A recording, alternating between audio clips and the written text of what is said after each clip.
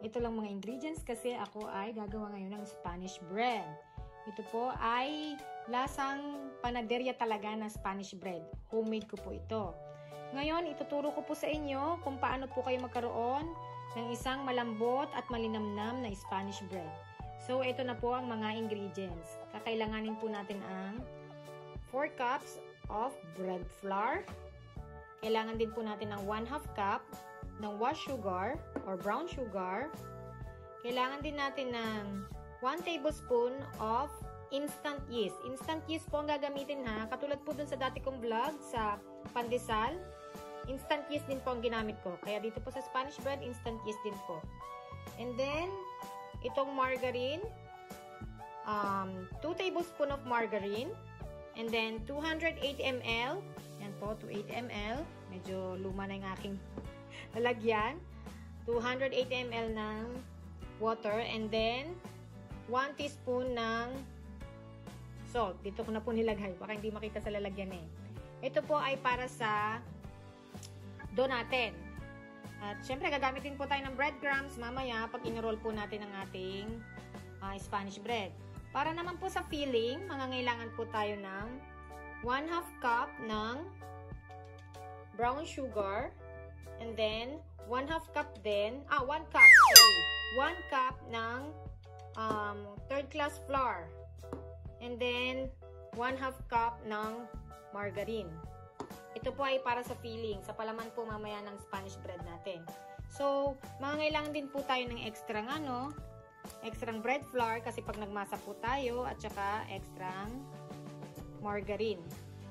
Kaya, nandyan lang po yun sa tagiliran. So, kailangan din po natin ng ating bowl na pag mimixan. Nandyan lang po yan. And then, panghalo. Yan. And then, ang aking strainer. Yan. So, mag-start na po tayong mag masa and maghalo-halo ng ingredients. So, ayan, mag-start na po tayo. Um, isif muna po natin yung ating bread flour.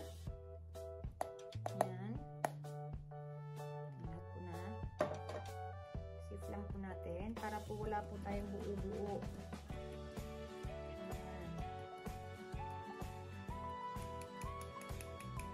Nakita niyo po may mga buong ganyan. Maganda nyo na lang po siya para mawala. Sapagay ko na yan. And then, halo po natin ang ating yeast. Ang ating 1 tablespoon na instant yeast. Yan. Haluin po natin mabuti.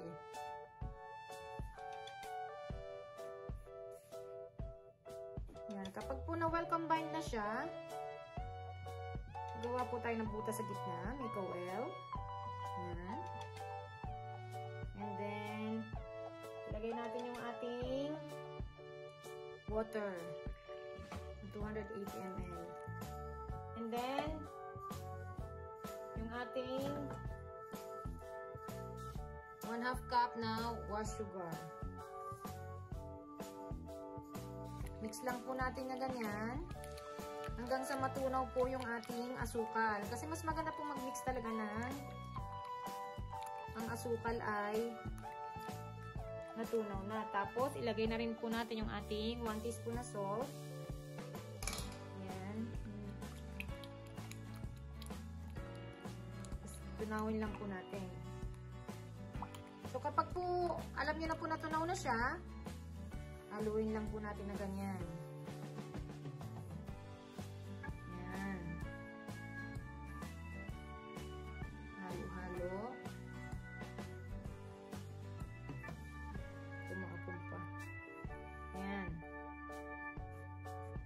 Tapos, ilalagay natin ang, kapag well mix na siyang ganyan, lagay natin yung ating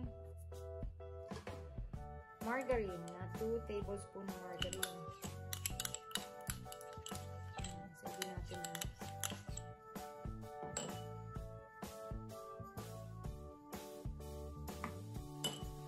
Then, mix ulit. So, pagkatapos nating mamix na ganyan, Uho tayo ng konting flour.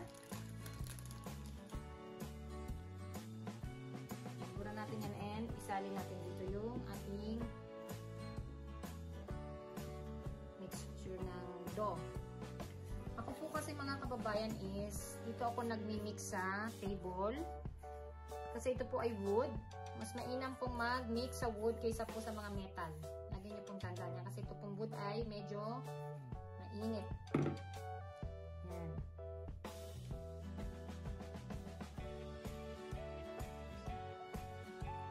So yan, mag-umpisa na po tayong mag magmasa, magpatone ng ating muscle. Okay. Okay, mag-start na tayong magmasa. Ayan. Ayan. Sa una lang po, parang medyo malagkit. Pero ang secret po sa malambot na do is, wag po kayong dagdag ng dagdag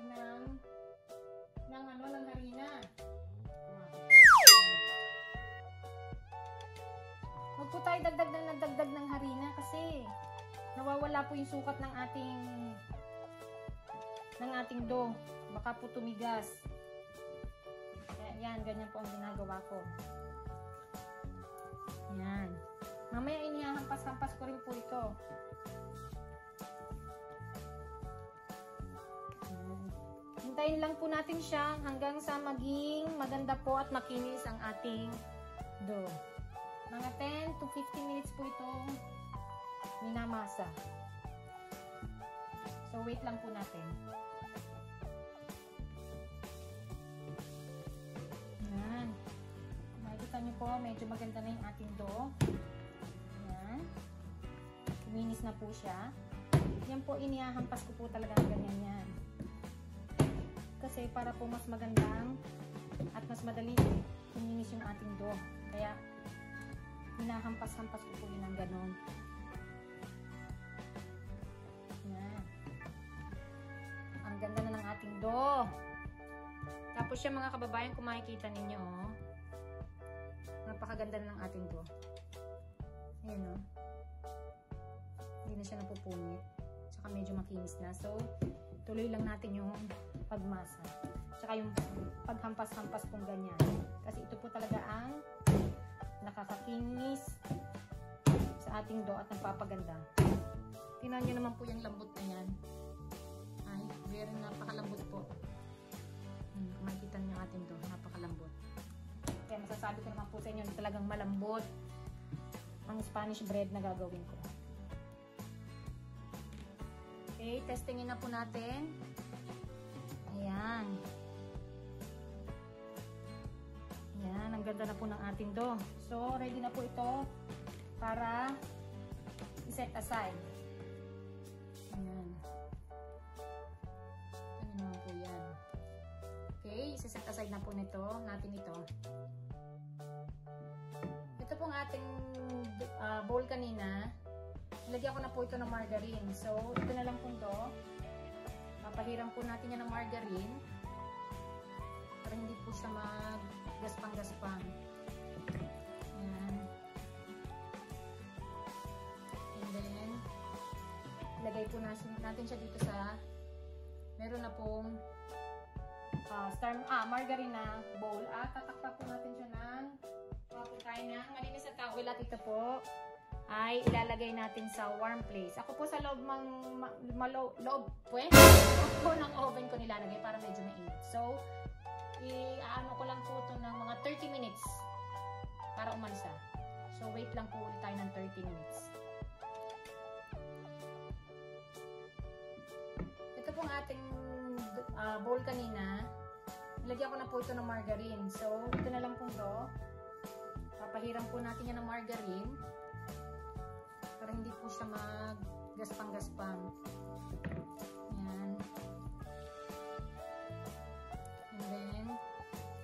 Ilagay po natin, natin siya dito sa meron na pong uh, star, ah, margarine na bowl. At tatakpak po natin siya ng towel. Malinis sa towel at ito po ay ilalagay natin sa warm place. Ako po sa loob mang ma, malo, loob, pues, loob po ng oven ko nilalagay para medyo mainit. So, i-ano ko lang po ito ng mga 30 minutes para umalsa. So, wait lang po tayo ng 30 minutes.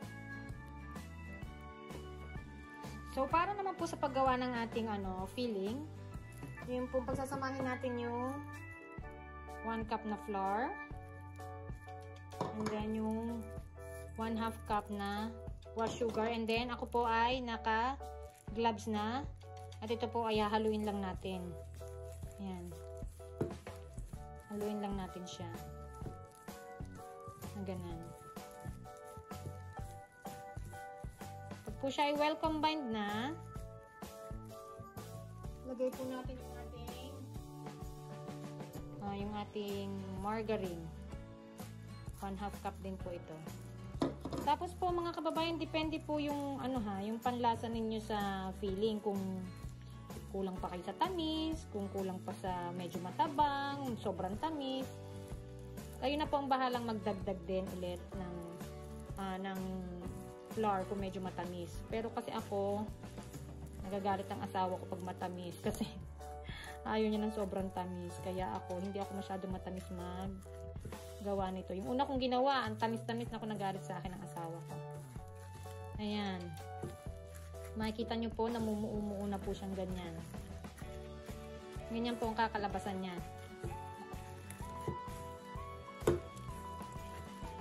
Ayan. Ito ay hindi na po niluluto. Mix-mix lang po yan. Ayan. So, bale, ganyan po ang kalalabasan ng inyong filling. So, ito po ay ready nang ilagay din. Dahil ito naman po din ay maluluto sa loob ng oven pag pinalaman. So, yan.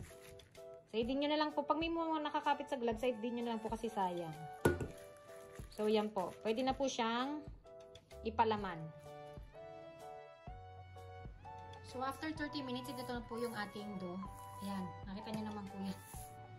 Sobrang lambot talaga. So, ikakat na po natin siya sa dalawang piraso. Siyempre, mga kailangan po tayo ng panghiwa natin. Then, kailangan din po natin ng timbangan. Ayan. Para po pare-pares ang grams natin. And then, yung ating pang-roll. And then, yung ating breadcrumbs. Kailangan rin natin ng ito, nilagyan ko na po yan yung tray. Meron na po yung margarine. Binuna, pinunasan ko na po yan ng margarine. Nilagyan. Yan. Dalawa po yan. Hari kulang pa ngayon. Magdadagdag pa ako ng isa mamaya. Dalagyan. Baka kulangin na. So, hatiin lang po natin to sa gitna. Yan. Cut natin. Set aside muna po natin yung, yung kalahati kasi para hindi siya mahanginan. So, yan. At importante po pala, kailangan malinis yung kamay natin. Naghugas na po ako ha ng kamay na. Kaya, malinis na po ito. Yung natin. Ako po, ang gramo na ginagawa ko po dito is 35 grams kada isa. Kung malaki, binabawasan ko po yan. Ito 35 lang po ang ginagawa kong sukat ng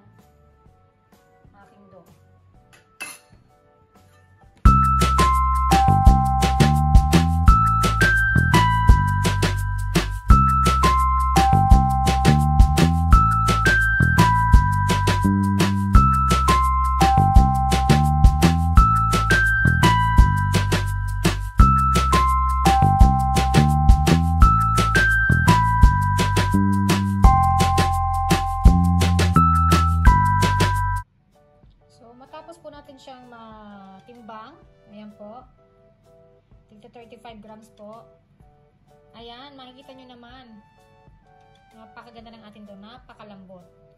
So, natin na mo siyang i-roll. I-mold na po natin siya na pang Spanish bread. Gamit po tayo ng rolling pin. Ayan, makikita nyo kung gaano siya kalambot. Ayan, pahabain lang po natin ng ganito. And then, ako napakalambot. Walang tayo ng palaman. Sa inyo na po kung gaano kagadaming palaman ang gusto nyong ilagay. Ako mga ganun lang. Okay na yon. And then, i-fold po natin siya ng ganito. Oh. One. Tapos, i-fold po natin ng pagganito. Paganyan. And then, Isisilid natin ng ganyan yung dulo niya para hindi po siya, ayan po, isisilid natin ng ganyan para hindi bumuka yung kanyang dulo. Ayan, and then, kunin po natin yung ating breadcrumbs. Sausaw po natin siyang ganito. Ayan, dapat po lahat malagyan. And then, lagay na po natin siya sa lalagyan. So, gagawin lang po natin to hanggang sa matapos natin lahat.